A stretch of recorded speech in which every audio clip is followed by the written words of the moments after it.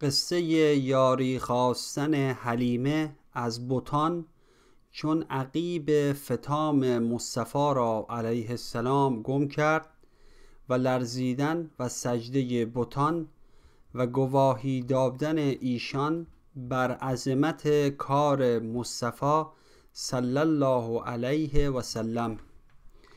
قصه راز حلیمه گویمت تا زداید داستان او غمت.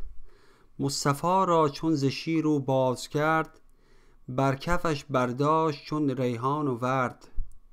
می گریزانیدش از هر نیک و بد تا سپارد آن شهنشه را به جد. چون همی آورد امانت را ز شد به کعبه و آمد او اندر حطیم از هوا بشنید بانگی کای حطیم تافت بر تو آفتابی بس عظیم.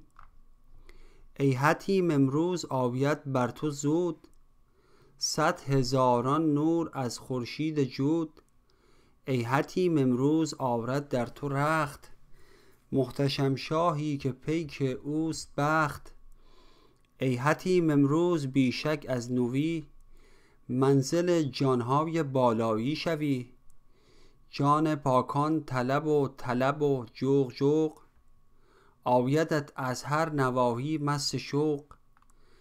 گشت حیران آن حلیمه زان صدا نه کسی در پیش نه سوی قفا.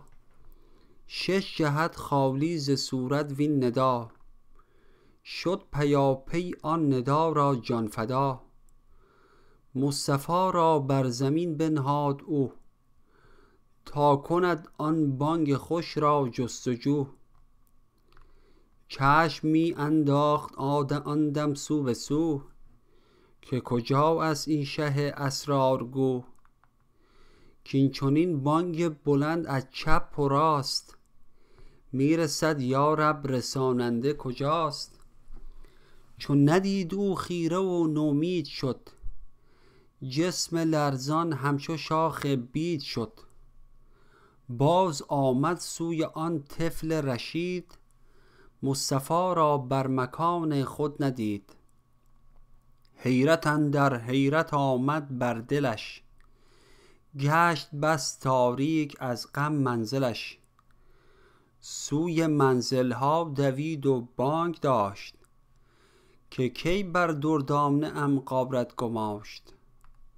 مکیان گفتند ما را علم نیست. ما ندانستیم که آنجا کودکیست. ریخت چندان اشک و کرد او بس فغان که ازو گریان شدند آن دیگران. سینه کوبان آنچنان بگریست خوش کاختران گریان شدند از گریه اش